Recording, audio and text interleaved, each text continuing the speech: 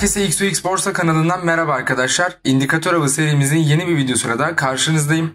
Bugün inceleyeceğim indikatörü geçmiş videolarımızın bir tanesinde yorumlar kısmında bir arkadaşımız önermişti. İnceler misin demişti. Ben de biraz kontrollerini yaptıktan sonra incelemeye karar verdim. Fena çalışmadığını gördüm. İndikatörümüzün adı Get Trend Strateji. Get Trend Strateji yazarı bunu kodlayan arkadaş çok bir açıklama yapmamış. Burada işte e, trendin yönünü belirleyen basit bir e, indikatör demiş. Bunu gerçek işlemleriniz için kullanmayın demiş. Gerçek zamanlı işleminiz için kullanmayın demiş. Bunu sadece kendi karar verdiğiniz e, işleme girmeden önce onay almak için veya işte kontrol etmek için kullanın demiş. Fakat yorumlar kısmında bir arkadaş bu e, indikatörü kodlayan arkadaştan daha fazla bilgi vermiş aşağıda. Demiş ki bayağıdır işte dene, deneyimliyorum falan filan. Şuradaki team değeri yani time zamanla alakalı bir değer var burada 160. Bu 160 default'unda 160 gelen ayarı eğer 40 yaparsanız diyor scalping trading. Yani e, scalping ne? İşte her kırılımla böyle e, grafiği 5 dakika alıyorsunuz. Her kırılımda işleme giriyorsunuz. Günde belki de 15-20 işleme giriyorsunuz. Bunu gayet iyi yapıyor demiş. Eğer bu değeri 80 olarak ayarlarsanız gün içerisinde birkaç fırsat verebiliyor demiş. 160 yaparsanız da swing trade. Yani e, belki bir gün boyunca açık tutabileceğiniz işlem belki de birkaç günü bulabilir e, diye bahsettiğimiz işlem modeli Swing Trade buna imkan veriyor demiş. Şimdi indikatörümüze bakacağız. İndikatörümüzü ne yaptık? Get Trend Strateji yazıp Yaroslav G adlı e, indikatörü oluşturan abimizin indikatörünü ekledik. Şimdi e, bu indikatör çok belirgin görünmüyor. Bu yüzden şimdi birkaç ayar yapacağım. Bunu sizin de görmenizi istedim. Öncelikle şu çizgilerin e, görünürlüğünü yüz yüze çekiyorum ve çizgileri biraz kalınlaştırıyorum arkadaşlar. Bunları yüz yüze çektim, kalınlaştırdım. Tamam dedim. Ardından yine bir tık karışık göründüğünü düşündüğüm için şuradaki ayarlar kısmına geldim. Sembole geldim ve buradaki yeşil ve kırmızı çizgilerin saydamlığını biraz e, biraz daha saydam yapmak istiyorum. Çizgileri daha iyi görmek istiyorum. Bunu siz kendinize göre ayarlayabilirsiniz arkadaşlar. Ondan sonra iyice net gördükten sonra pozisyonlarımıza bakacağız arkadaşlar. Şimdi bu şöyle bir indikatör. Bunu istiyorsanız bir saate getirin. Yine aynı işlemleri gösterecek arkadaşlar size. Bu şekilde anlayamayacağız. İndikatör avı serimizin ilk iki videosunda biz ne yapmıştık? Uzun vade ve kısa vade olarak ikiye ayırmıştık arkadaşlar.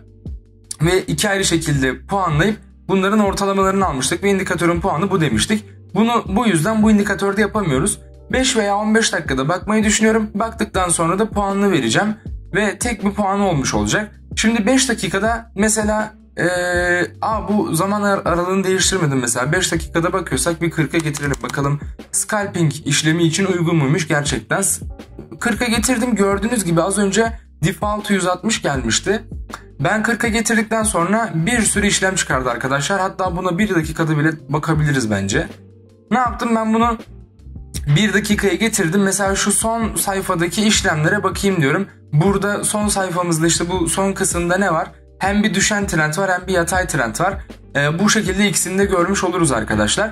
Düşen trendin başından başlayalım. Şimdi burada yeşil ve kırmızı çizgiler var. Mantık şu. Yeşil kırmızıyı yukarı doğru kestiğinde long aç diyor. Ee, tam tersi yeşil kırmızının altında kaldığında kesişimden sonra da short aç diyor. Ve bunu kapanıştan sonra yapıyor arkadaşlar. Yani mum kapanmadan e, yapmıyor.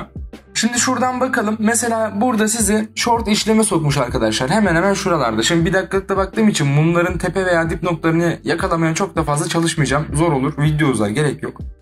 Ama şuralardan diyelim. Buralardan nerede kapattırmış? Burada kapattırmış. %2.68. Kapattırdığı yerden arkadaşlar long açtırmış. Bakıyoruz %0.4 güzel fena değil. Short açtırmış 1.28 gayet iyi. E buradan long açtırmış short muhtemelen burada bir stop olayı var. Yani istiyorsanız daha yakından bakalım. Ee, bakalım. Buradan long yaptırmış. Buradan da short yaptırmış. Aynen %0.16'lık bir zarar var. Ee, yani burada stop olduk diyebiliriz arkadaşlar. Ee, sonuçta şöyle long açtınız diyelim. Eğer bir short sinyali görürseniz arkadaşlar stop olup short açmanız gerekiyor bu indikatöre göre. Burada short açtırmış. Burada stop olmanın acısını gayet iyi bir şekilde çıkarmış arkadaşlar indikatör. Gördüğünüz gibi %0.7 veya 1'e yakın e, bir kar vermiş. Şimdi düşen trend bitti. Biraz da şu civarlarda yatay piyasada e, yatay trendde nasıl çalışıyor ona bakalım. İkisini de görmüş olalım arkadaşlar. Burada long açtırdıktan sonra e, az bir kar vermiş. Sonra buraya biraz daha yakın bakmak gerekiyor. Yatay trend olduğu için zor görünüyor.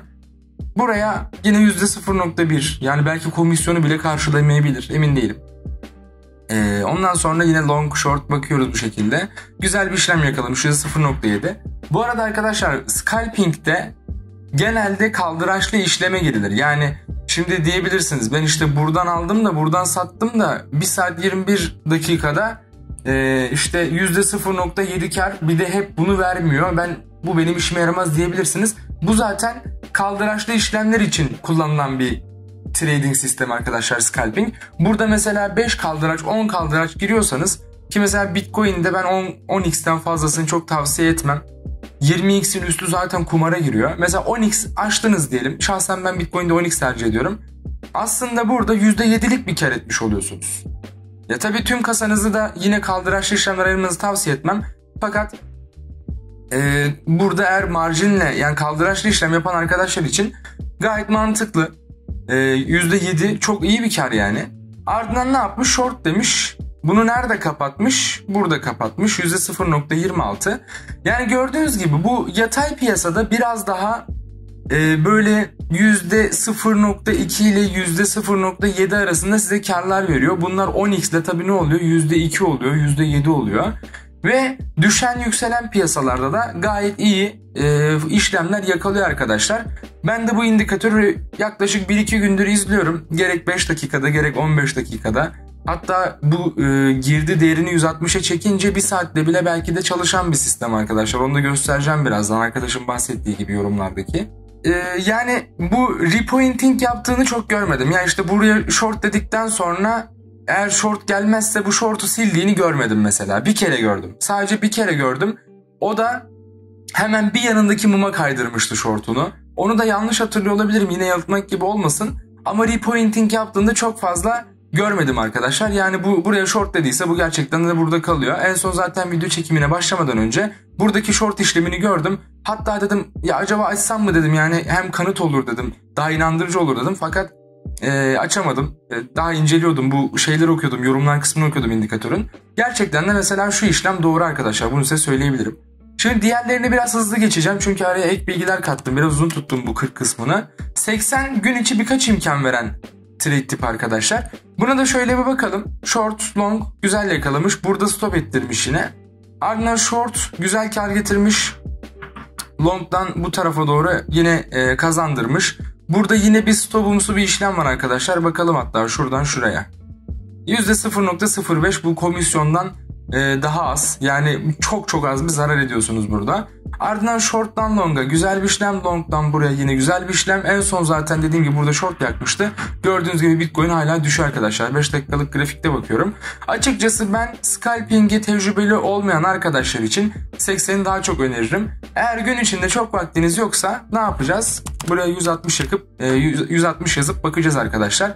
160 aldım. Eğer 160 alırsanız dediğim gibi saatlikte de okunması zor oluyor. Fakat yine de gördüğünüz gibi e, yeşilin kırmızının yerlerini ayırt edebiliyorsunuz arkadaşlar. Yine 5 dakika alıp bakacağım. Gördüğünüz gibi burada verdiği işlemler yok. Az önce şurada mesela birkaç işlem vardı. Hani şurada stop ettirmişti mesela. O işlem görünmedi şu an.